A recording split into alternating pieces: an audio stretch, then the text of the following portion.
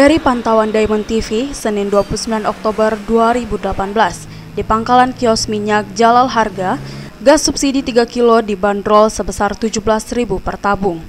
Sedangkan gas 12 kilo dibanderol sebesar Rp155.000.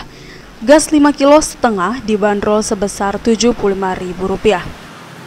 Untuk saat sekarang ini saya belum dapat berita dari agen Ya. ada kenaikan. Jadi saya jual masih seperti biasa. Berapa tuh bang harganya bang? Ya, Berapa harganya bang? ya kita umum biasa lah Pak. Berapa tuh? 17 Berapa bang?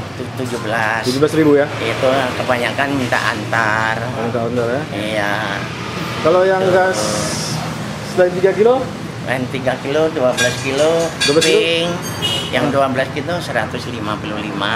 155 ya. Nah, yang pink 75. Sinsan, pemilik pangkalan kios minyak Jalal menuturkan, sebelum ada kenaikan gas subsidi 3 kilo, masih menjual seperti biasa dengan harga Rp17.000. Dari Tanjung Pinang, Kepulauan Riau, Muhammad Holul melaporkan.